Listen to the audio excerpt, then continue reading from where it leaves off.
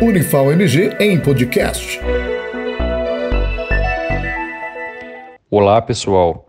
Meu nome é Eli, sou médico ortopedista, especialista em pé e tornozelo, professor do Departamento de Cirúrgica da Faculdade de Medicina da Unifal MG, e hoje eu vim aqui falar um pouquinho sobre as torções de tornozelo, que cientificamente a gente chama de entorse de tornozelo. Então, os entorses de tornozelo são uma lesão que acomete os ligamentos da região lateral do tornozelo, que frequentemente acontece em movimentos de inversão, aqueles traumas em inversão do tornozelo. Sem dúvidas, é a lesão traumática mais vinculada aos esportes, independente da atividade física ou do, da modalidade que se pratica. E as entorses do tornozelo, ou seja, essas lesões ligamentares, elas podem ser classificadas em três tipos desde um tipo mais leve, que a gente chama de grau 1, que é apenas o estiramento das fibras do ligamento, até uma situação mais grave, que a gente classifica como grau 3, em que há uma ruptura completa daqueles ligamentos. A identificação da entorse do tornozelo é basicamente simples. Geralmente, depois de um movimento brusco do tornozelo em inversão, o paciente vai sentir muita dor na região lateral do tornozelo associado a um inchaço, às vezes até um hematoma. E esses sinais e sintomas, eles representam o dano tecidual àqueles ligamentos que foram estressados no movimento brusco.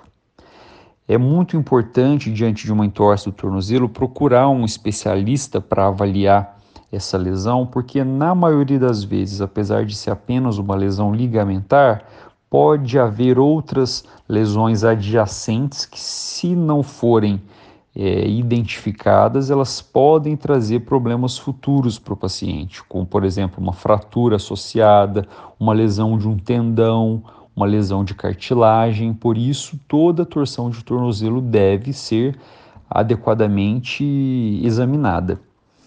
A grande maioria das entorses do tornozelo são tratadas inicialmente de forma conservadora. O que, que significa isso?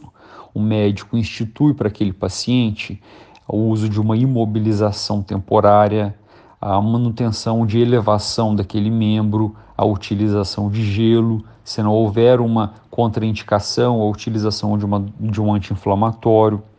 Alguns pacientes, mesmo fazendo o tratamento conservador de forma correta, eles podem evoluir para uma situação que a gente chama de instabilidade do tornozelo. E a instabilidade do tornozelo, em alguns casos, tem indicação até cirúrgica de se reparar esses ligamentos rompidos.